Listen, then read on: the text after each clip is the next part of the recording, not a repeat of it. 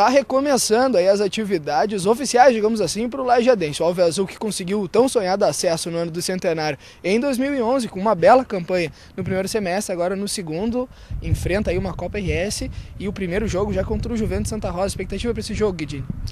Olha, é boa. Nós estamos treinando já três semanas, três amistosos, né?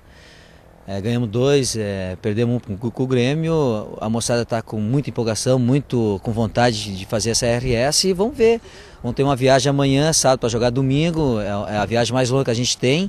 Depois os jogos são tudo perto. E, o bom é que é domingo a domingo, então tem tempo para a gente recuperar os atletas até para colocar eles melhor a forma física. Né? A comissão também, que aí a gente tem um nome novo aí, o novo treinador Benhur Pereira. Como é que está sendo esse trabalho agora em conjunto com o treinador que até então era adversário e agora passa a estar tá atuando junto com o Alves Azul, ah, foi uma boa aquisição que o Lajadense teve, com, é, é, um profissional gabaritado, trabalha muito, o, o pessoal assimilou bem o trabalho que ele está fazendo.